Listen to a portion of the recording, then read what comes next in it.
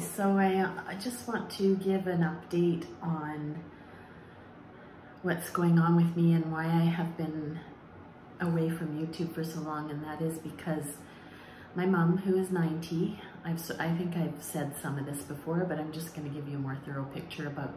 what's going on and why I can't or haven't been able to post YouTube videos. My mom is 90, she turned 90 in October, and in the same month she also went into a care home because she just was not able to manage and dad wasn't able to look after her and we were trying to do shift work and look after her um, so that we could keep her in our home and it just was too much for everybody. So um, we managed to get her into a care home but as seems to be the case uh,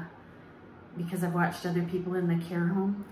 uh, people just deteriorate so quick when they get into those places and it's really really sad because I don't know what the other options are like as as families when you have your own work that you have to do um, like your own jobs that you have to go to and then to try and care with a loved one who needs pretty much more than full-time care you just can't do it. Um, so you have to have them in a place where people, professionals can look after them, but they're not in their home. And it's, uh,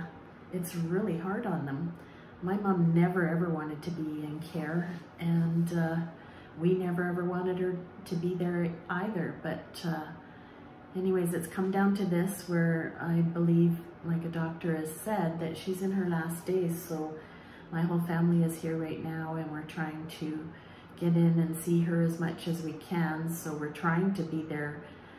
have at least one person there all day long. We're not there in the evenings, or sorry, at night, overnight, but the rest of the time we're trying to be there for her just so that she knows that we're with her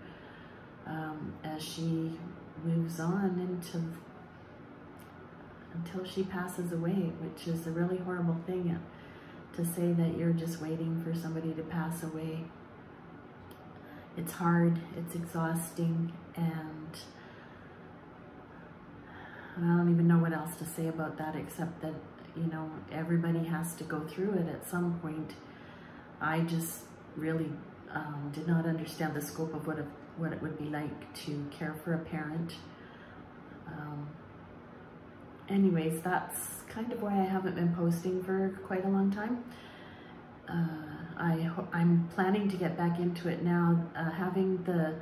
cheap RV living video that I um, was interviewed by Bob Wells show up um, online now has really increased my subscriber base, which is great. And I love all the comments I'm getting from everyone. It's, it's so great to um, have people have such positive comments, encouraging comments, and I thank you for all of them. I've really tried to answer all of them or at least put a like on it so that you know that I saw it. Um, I'm so grateful for all your comments and, and thank you for that. But because I've got this increased subscriber base and I don't want to lose you all, so I'd like to keep you interested. So I'm going to try and be posting videos uh, every week now, and so I'll probably get this video out today or tomorrow, and then I will start posting on Wednesdays every week again.